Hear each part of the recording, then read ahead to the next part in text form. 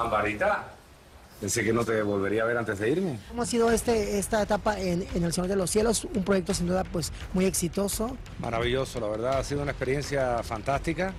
Es una serie que está considerada como las series más vistas en- de habla hispana en, en el mundo entero. Eh, y hay muchas sorpresas que vienen ahí nuevas. Esta semana causó mucho revuelo Cintia Clitbo porque pues ya que le compartió a, a todos sus seguidores que ya está pasando la menopausia. Y evidentemente la está pasando muy mal. Yo no se lo he notado mucho, ¿eh? yo la veo muy contenta. Cada vez que nos vemos la pasamos súper. Está contentísima porque, bueno, tu- tuvimos la oportunidad de, de coincidir en Hijas de la Luna.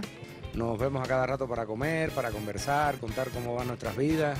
Y como muchos medios han hablado de un supuesto romance entre ellos, 20 años después de su divorcio, esto nos dijo de Cintia. Es alguien que estuvo en mi vida y que siempre estará. Y siempre estoy ahí para apoyarla y para que me apoye, porque a veces yo también lo necesito. Y voy ahí a llorar a su hombro y ella a veces al mío. Y tenemos una relación muy padre. Eh, Cintia es una mujer muy frágil y a la misma vez muy fuerte. Pero quizás esté pasando por alguna etapa, no sé. Pues para las mujeres es todo un tema. Lo- los hombres lo vimos con la andropausia. Yo creo que ese tema deberías hablarlo con ella personalmente. Yo no, no soy quien para hablar de eso, la O verdad. sea, que ¿cómo asumes el tema de que pues ya no eres el chavito de la dueña, de que ya eres un actor maduro?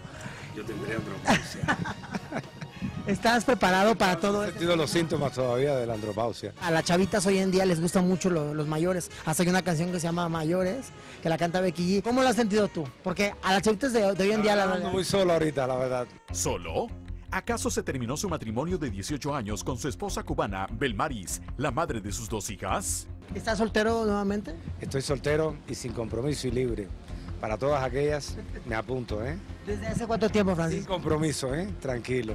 Oye, ¿Desde hace cuánto tiempo estás, estás nuevamente soltero? Hace como dos años. ¿Y cómo ha sido esta, esta etapa? Maravilloso. La mejor etapa de mi vida. He vuelto, he vuelto a sentirme libre, tranquilo, relajado, sin nadie que esté pendiente de otro. Sin embargo, ese no fue impedimento para su carrera musical. El tiempo no da para atrás. Pa' comerlo no me tienes que amar.